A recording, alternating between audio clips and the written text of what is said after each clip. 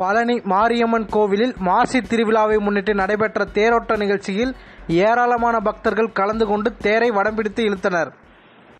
பழனி மாரியம்மன் கோவிலில் மாசி திருவிழா விமர்சையாக நடைபெற்று வருகிறது.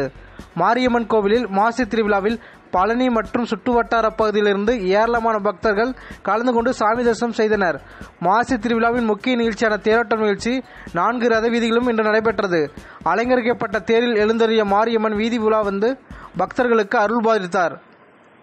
மாரியம்மன் கோவில் முன்பு சிறப்பு பூஜைகள் செய்யப்பட்ட பின்பு நான்கு ரத வீதியில் திருத்தேர் ஊர்வலம் நடைபெற்றது. தேரோட்டத்தில் ஏராளமான பக்தர்கள் கலந்து கொண்டு தேரை வடம் பிடித்து இழுத்தனர். திருவிழாவிற்கான ஏற்பாடுகளை பழனி முருகன் கோவில் தேவஸ்தான நிர்வாகம் மேற்கொண்டது.